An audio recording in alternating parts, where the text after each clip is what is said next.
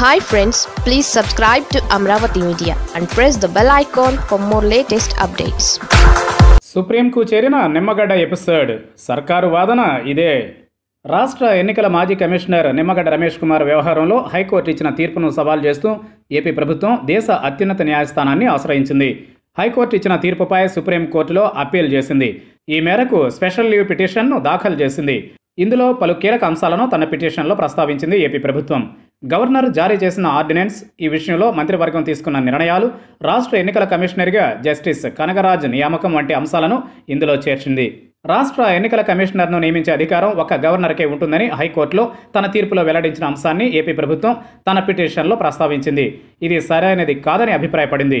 ఎన్నికల కమిషనర్ నియామక అధికారం గవర్నర్కు తప్ప మంత్రిమండలికి లేదని చెప్పడం సరైనదిగా తాము భావించట్లేదని పేర్కొంది. ఇదివరకు జరిగిన నియామకాలన్నీ మంత్రివర్గంలో చర్చించి తీసుకున్న నిర్ణయాలేనని పేర్కొంది. రమేష్ కుమార్ నియామకం కూడా అలా జరిగిందేనని గుర్తు చేసింది. రమేష్ కుమార్ను రాష్ట్ర ఎన్నికల కమిషనర్గా తొలిసారిగా నియమించింది గత ప్రభుత్వమేనని అప్పటి మంత్రివర్గమే ఆయనను నియమించినట్లు స్పష్టం చేసింది.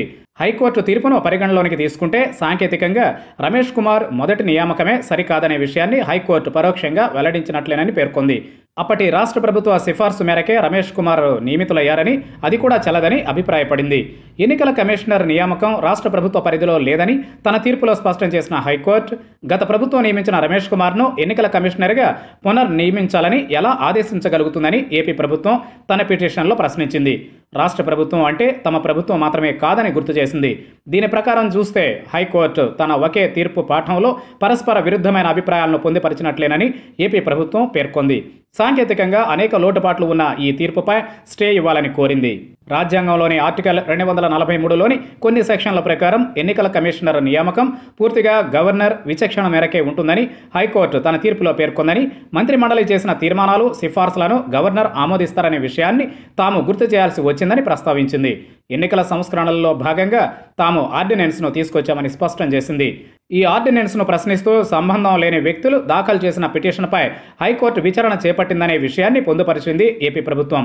ఈ స్పెషల్ లీవ్ పిటిషన్ను విచారణకు స్వీకరించింది సుప్రీంకోర్టు. త్వరలో ఇది విచారణకు రానుంది.